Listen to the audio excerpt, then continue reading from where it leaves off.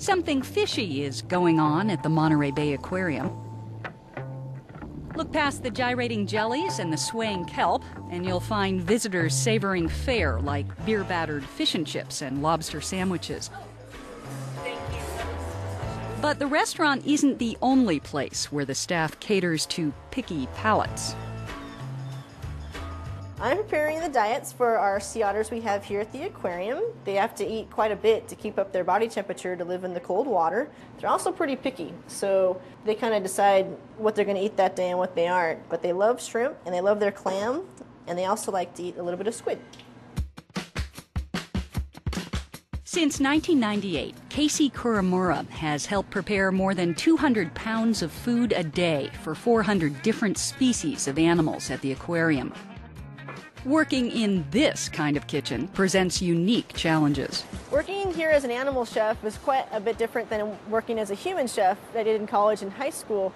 The diets are so irregular from humans, and some of the animals don't have to eat every day as opposed to humans. We always eat every day. And for her non human diners, the ingredients are often as unusual as the eating habits.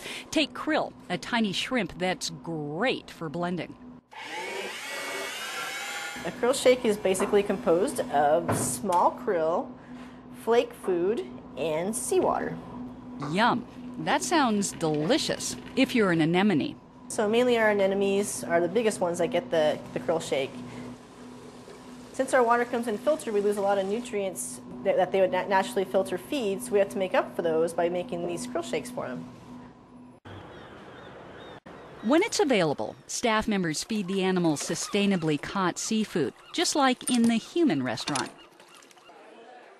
And like that menu, the menu here is seasonal and subject to change. Frequently in aquariums, diets are based on our attempts as caregivers to mimic what we know these animals eat in the wild. So you try and come up with as close a diet, given what is available in the marketplace, to feed these animals. But the biggest problem is trying to figure out what that balanced diet consists of. What we find is that maybe a diet source that we start with may not be appropriate for long term, and we have to, may have to modify it. It's a challenge from any angle, and the sheer number and diversity of mouths to feed provides plenty of learning opportunities. Like, let's say you're not the only big fish in a big pond, or rather tank. At feeding time, how can you make sure you get your fair share? You can't really chase them down and expect them to feed. So if we can train them, make them very comfortable coming to a particular target, a particular location, we can hand feed them so we have control over what they eat, how much they eat, when they eat. So using conditioning is a very important tool for us.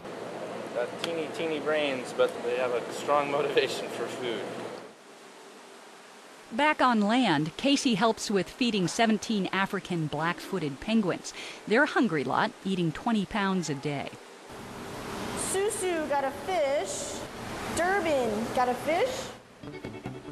Their names are called out as they eat, allowing the staff to keep track of who's not eating their breakfast. But just keeping an eye on who's eating what obviously isn't enough. Animals at aquariums and zoos across the country are also routinely weighed to monitor the impact of diets on their health. Like he's 3.69 kilos. At the San Francisco Zoo, veterinarian Jacqueline Jencek explains that more invasive exams are sometimes needed as well. There definitely are some disease processes out there that we can say are linked nutritionally. And um, we have a, a condition called iron storage disease. What happens is the lemur's body starts to build up too much iron, and that goes to the liver and then starts to cause damage to the liver over a long period of time. The disease is linked to fruits high in vitamin C. It's common among lemurs, a type of primate from Madagascar. However, once found, it's easily treated. We're actually drawing a small amount of blood out once a week to create almost a very mild anemia. And what the body then does is it pulls the iron that's being stored in the liver out to the bone marrow to create more red blood cells, because iron is a big part of a red blood cell. This is a um, treatment that we actually stole from human medicine. he'll be fine, and he'll make more for next week.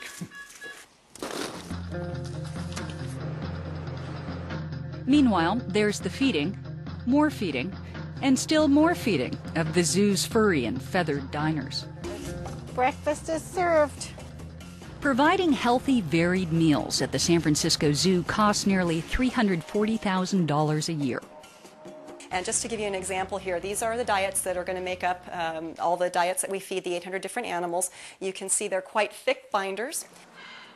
Every species is very different as to their protein, their caloric requirements. Um, certainly, uh, a carnivore is meant to eat a lot more meat and protein than, say, a bird is. Certainly, metabolism plays a factor in all of our, our diets that we have for the animals. A bird always has a much higher metabolism than a, than a mammal. A reptile has a lower metabolism than a mammal, and so that actually guides our feeding strategies.